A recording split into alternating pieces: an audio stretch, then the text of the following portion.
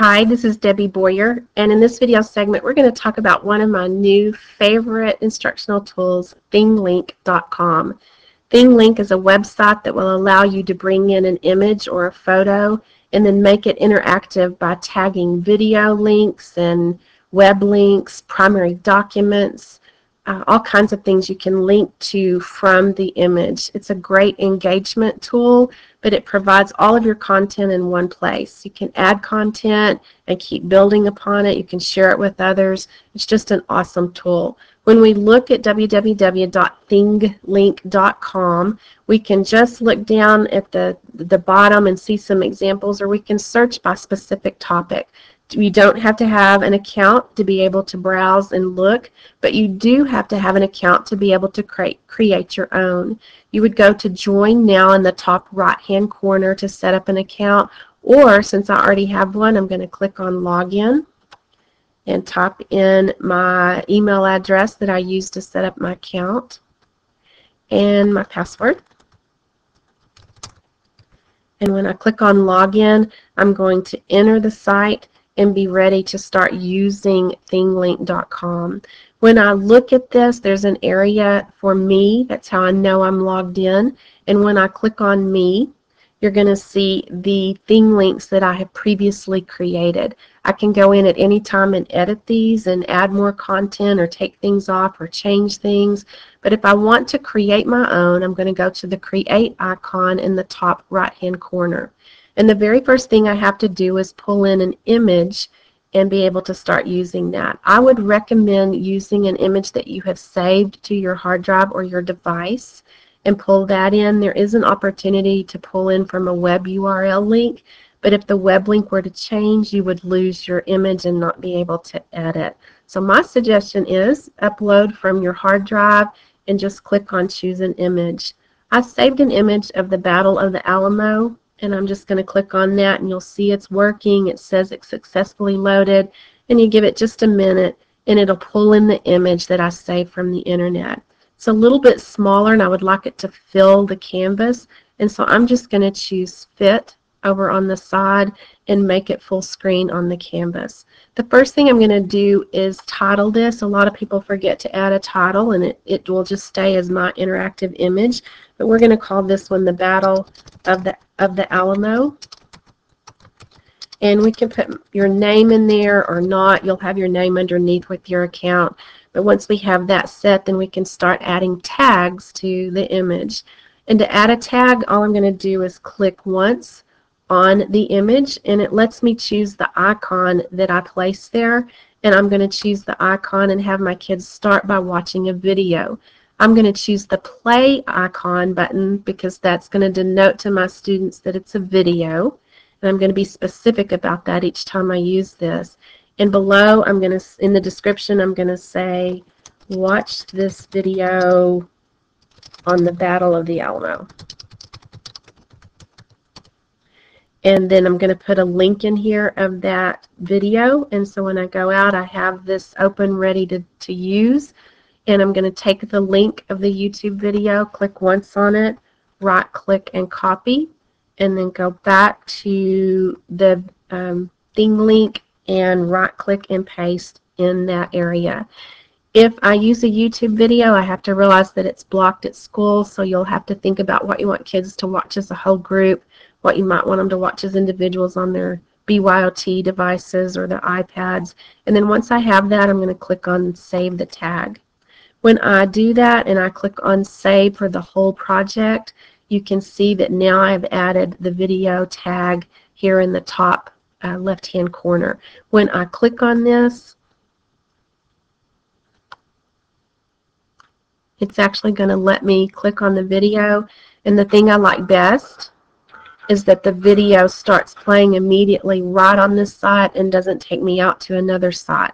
So I keep everything contained in one place for my students. I can exit out of that at any time and because I'm the editor, the creator of this, I can go back in and edit this image.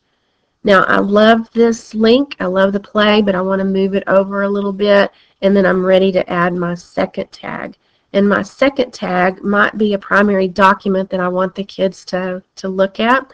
and read, and primary documents are so huge for our students to learn to to uh, work with. So I'm going to click on this icon and instead of using the play, it's not going to be a video, it's going to be an article. And because we love to learn new information, I'm going to choose a heart. Whatever I do there, I'm going to be consistent in all the ones that I create. So my description might be um, explore this primary document.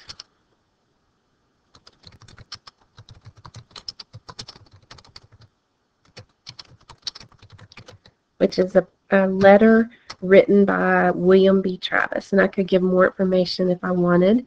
And then I'm going to go out and the letter that I have for the primary document, I'm going to copy and paste that link as well. And then we're going to save the tag.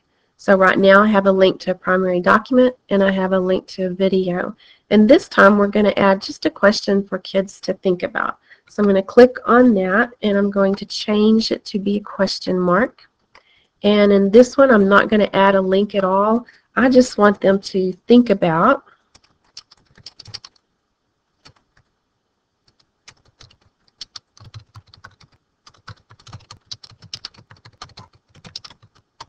What are the major contributions of William B. Travis?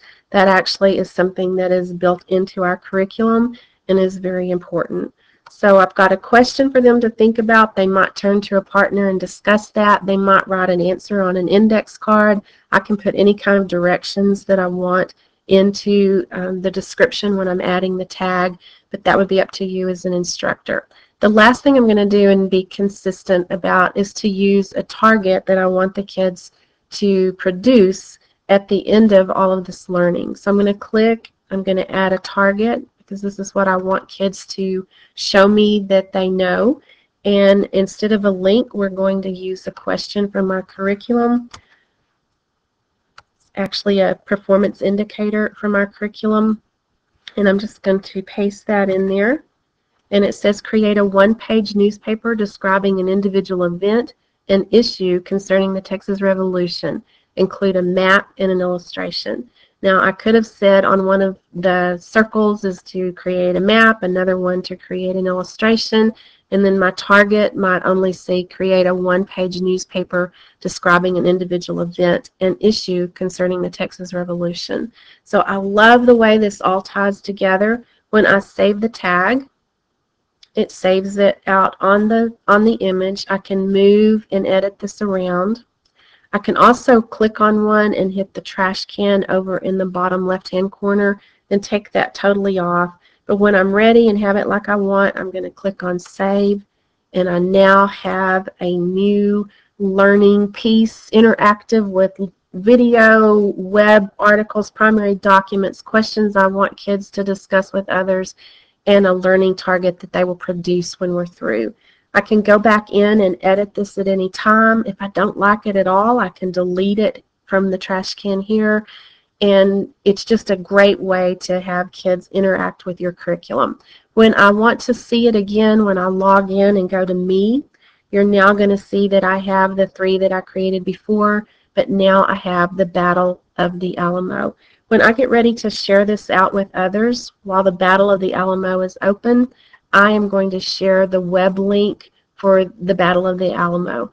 I'm going to highlight it, right click and copy, and I could email you that link. I could post it to my website.